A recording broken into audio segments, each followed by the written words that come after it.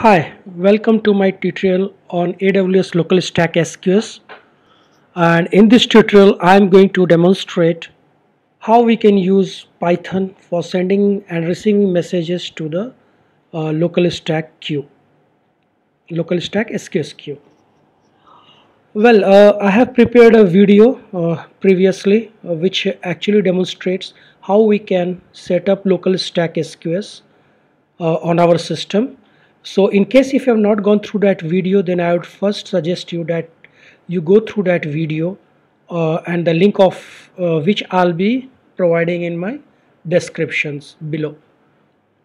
And in case you already know you are aware of how a local stack uh, SQS works then you can skip that video and just follow this video.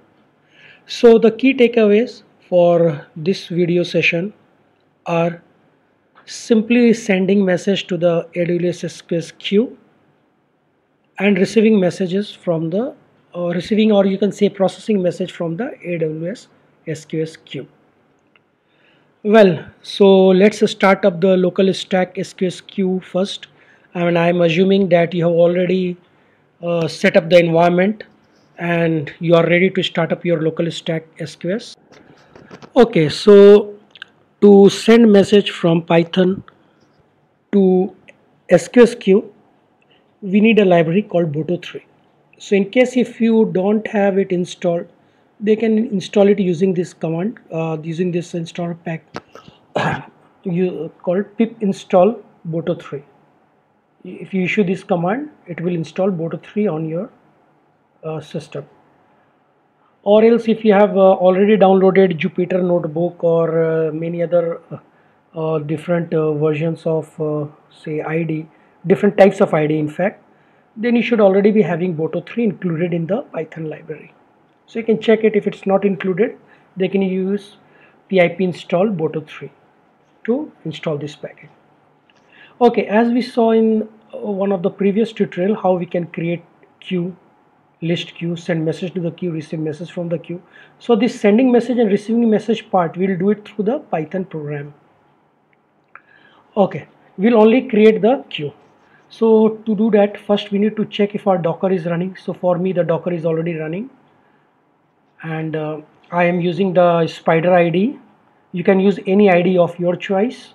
So it's not necessary that you have to use the same ID so now let me start up docker. So I'll go to my folder where I have kept the YAML file to start up the local stack which is in docker compose.yaml so I'll issue the command docker compose up as we have done in the previous video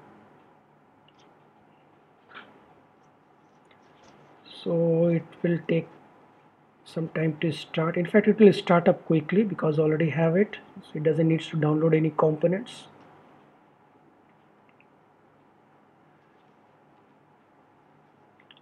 And I will open one more terminal in a new tab. Okay so this has already started. I mean the local stack is now up and running. So all these services are there you can see we have EC2 service DynamoDB we have SQS service Lambda service but anyway we'll be using the SQS service this service. All are on port 4566 but you can change the port if required. Okay so now let us create our queue. So you can name this queue as any name. I mean you can give it any name I mean. So I've been giving this name my message hyphen queue so just I just copy this command. This is the AWS CLI and yes you need to have AWS CLI installed as I mentioned in my previous tutorial. So I'll just paste it. So AWS you have to give the attributes like uh, endpoint URL so this is the endpoint URL you want to use. And then SQS and you have to give the command create queue. In that queue name you have to give. And I have given the name as my message hyphen queue okay let's execute it well the queue has been created and this is the queue URL. So we'll use this in our code. And if you remember from the previous tutorial that AWS configure, which actually we should be doing before. So I've assumed you have already done AWS configure before running this queue command. Okay. So in AWS configure, we have this key ID, which is nothing but I had given as secret hyphen ID. You can give it any ID. Then secret key I give this as name secret hyphen key then default region name already I've given US East hyphen 1 and this is default I leave it as JSON or whatever you can leave it that doesn't matter as of now now let me open up my ID so I'm using Spyder. So this is the command to send the message. So let me explain you what these do. Okay first of all you have to import this library boto3 after you imported this library then you have to get the service resource. So which client i'm using this service? I'm using sqs service. And in addition to that you have to give some if this is already configured then no problem.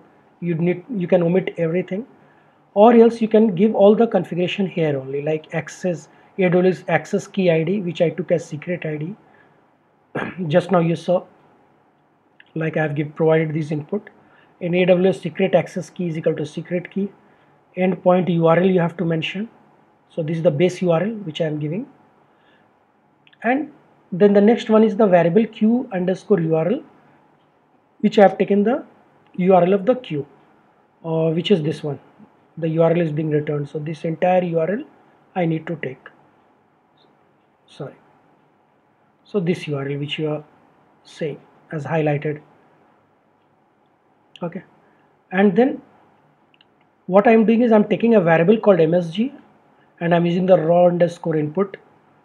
Uh, I'm using raw underscore input command to accept a message from the user. You can try the input command also and whatever user has entered the value it will be assigned to the message variable.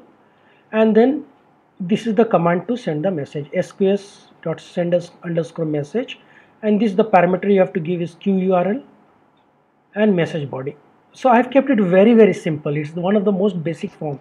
In fact message you can send as a full JSON structure giving the different different attributes. But here I am keeping it very simple and after that just to uh, see whether it has been successfully posted. So every message will have a message ID associated with it.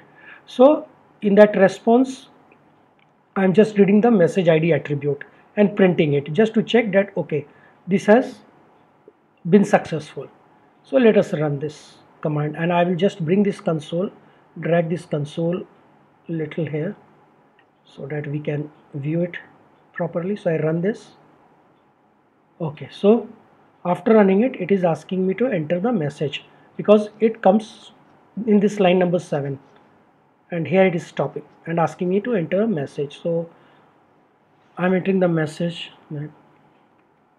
Hello from python to sqs queue so let the message be this and then I enter. Okay so that means it has pushed the message to the queue. So let's validate it. So I go over here. So to receive the message I can simply use this CLI command.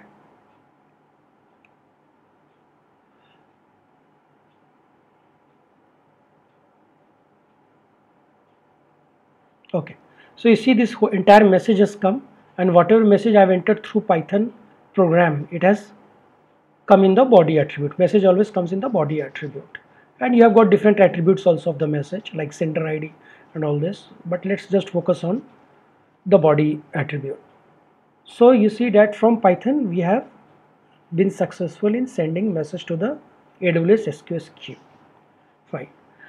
Though we are reading it through aws cli but it is also possible to read this message and process this message in fact from python program itself. So when we are creating a chat program or when we are having two different programs running which needs to communicate in a loosely coupled fashion so we use the intermediator as the queue. So here is the code. So here also I import Boto3 then same way SQS we get the resource service resource.